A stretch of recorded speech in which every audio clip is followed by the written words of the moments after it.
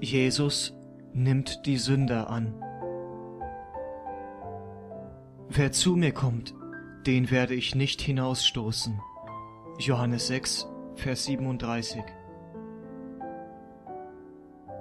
Gibt es ein Beispiel davon, dass unser Herr einen Kommenden weggestoßen hat? Wenn es ein solches gibt, so möchten wir es wissen. Aber es hat keines gegeben, und es wird nie eins geben. Unter den verlorenen Seelen in der Hölle ist keine, die sagen kann, ich ging zu Jesus, und er wies mich ab.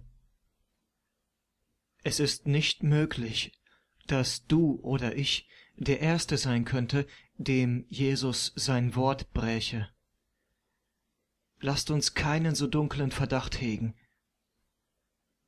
Angenommen, wir gingen jetzt zu Jesus im Betreff der heutigen Übel.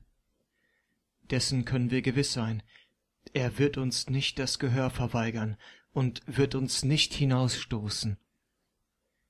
Diejenigen von uns, die oft dagewesen und die, welche noch nie dahingegangen, lasst uns zusammengehen, und wir werden sehen, dass er die Tür seiner Gnade vor keinem von uns verschließen wird.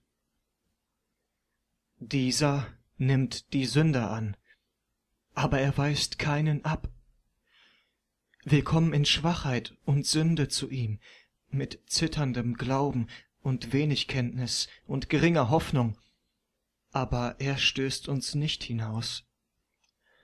Willkommen im Gebet, und dies Gebet ist ein gebrochenes, mit Bekenntnis, und dies Bekenntnis fehlerhaft, mit Lob, und dies Lob viel zu gering für sein Verdienst. Aber dennoch nimmt er uns an.